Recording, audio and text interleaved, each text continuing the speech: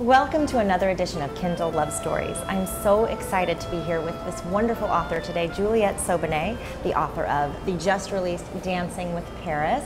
Welcome, Juliette. Thank you. So, because her books are set in Paris, we thought we'd come today to this beautiful French cafe in San Diego called Fabressons in order to talk to Juliette about Paris and her books and wine and the love of all things French. We're so happy to have you. You know, you're our very first live author interview. I know, I'm really excited. Thanks so much for having me. You're welcome. so let's first just um, let people know about Dancing with Paris. Tell us a little bit about the book.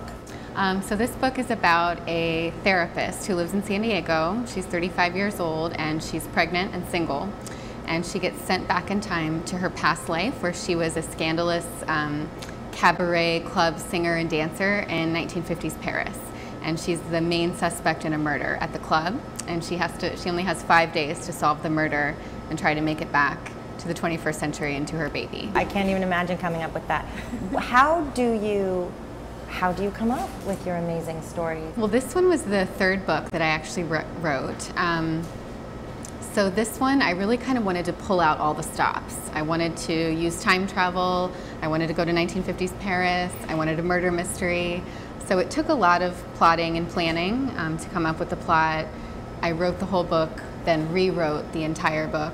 So it was a significant amount of work, but it was worth it. Yeah. very happy with how it came out. I'm very excited to read it. So a lot of your books are set in Paris. Mm-hmm. What is it about Paris, do you think, that attracts you the way that it does? So many things. I've been in love with it since I was 15. It was my first trip over there, and I think it's it's the language. I love, love, love speaking French. I love the food, the people, all the friends I've met there, the cobblestone streets, the Seine. I mean, it's just like, it's such a romantic place to be. And setting books there just really works because it's Paris becomes like its own character. So you have all the main characters and then you have Paris. And readers want to go there. They, they want to pick up a book and escape. And what better place to escape than France? So does the city become a character for you in the book? Absolutely, yeah. Especially in this book, it really does. It's because I had to do a lot of research into the 1950s time period to see what the clothing would have been like, what the cars were like, you know, all the little details that make it authentic. So that was really fun. So yeah, it definitely becomes, Paris becomes its own character. I know Paris because I lived there for a year. I studied abroad over there. I did my master's there. So when I did the research, I found that a lot of things about Paris in terms of just like the monuments, the big things, were still the same in the 50s. So that was helpful. yes. um, and then I went over to Paris last fall and spent a lot of time there and I walked my main character's path. So like everywhere she went in the book, I just did like my own walking tour of Paris and made sure that like just the sights, the sounds, all the little things that I saw, the little bookstores, the hotels, the art galleries, just started like getting all that sensory information and gathering it for the book. And um, and then in terms of 1950s, I just had to do a lot of online research. Does it come to a time when it comes together so specifically for you that you're watching the movie unfurl in your head? Yeah, definitely. Absolutely. Yeah. What about French men?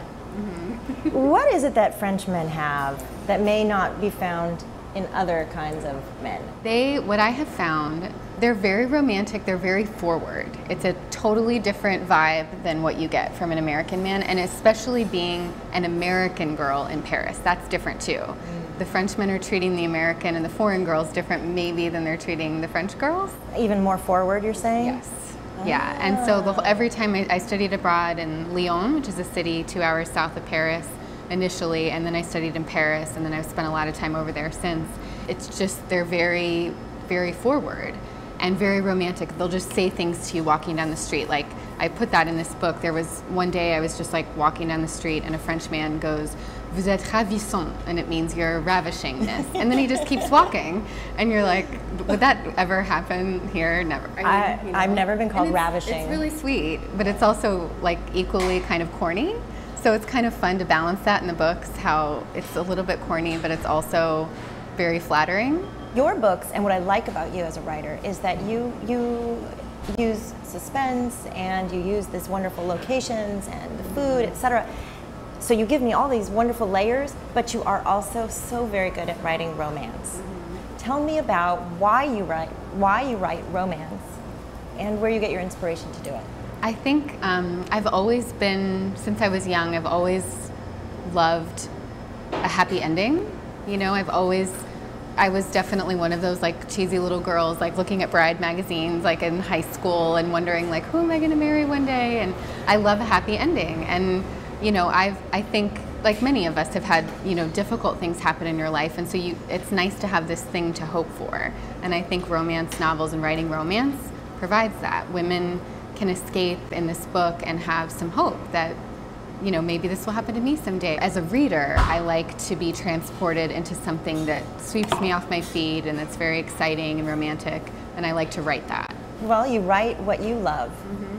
So obviously you have a passion for it. Yeah. And I think that your point about escape is really well taken because I think most people would say they write, ro- they read romance in order to feel that escape. Mm-hmm. And I feel like you take it to that heightened level by setting your books in Paris as opposed to I don't know, I don't want to pick on any small town in, in right. America, but you know, it's something so, as you say, so mysterious, and it is the ultimate escape, the right. ultimate romantic escape. So tell us about um, this is a book in Dancing with Paris is a book in a series, right? All four of my books are standalone right now. Yeah, so they're not, but they're the Paris series essentially. You know, they all have the Paris element, but they're not connected. Okay, that's good to know. Mm-hmm. Do you foresee writing another book about Paris?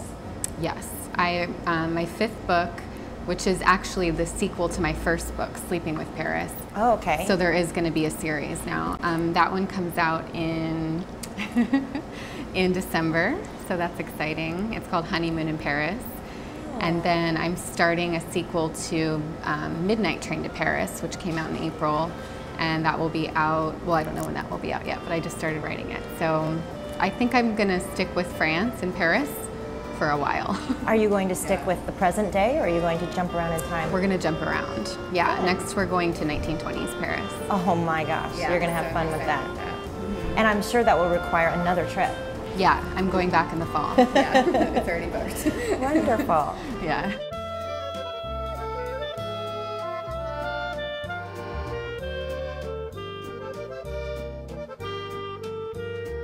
All right, so now we're gonna have a crepe lesson Yes, we're gonna do some French crepe today, very traditional.